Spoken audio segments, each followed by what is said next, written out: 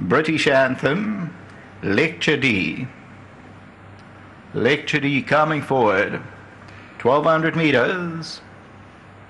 Set, they sprinting away from the 1200 meter marker. The favourite Extreme Dubai has been ridden at, couple of lengths off the early lead. Song of Fire and Ice, one of the first to go.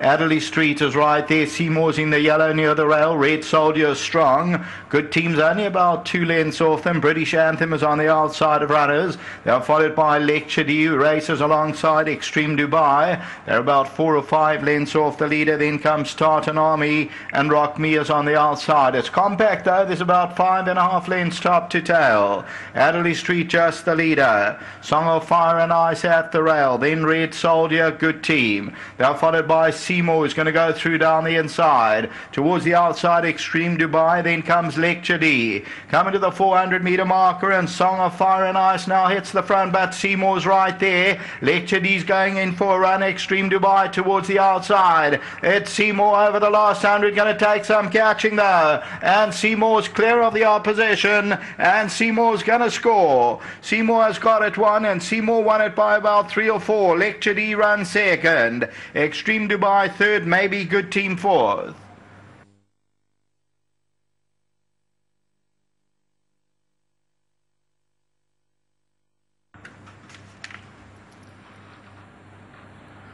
Number eight, Seymour gets eased down at the line. Started from pole position, and the Count Dubois is victorious for Norma.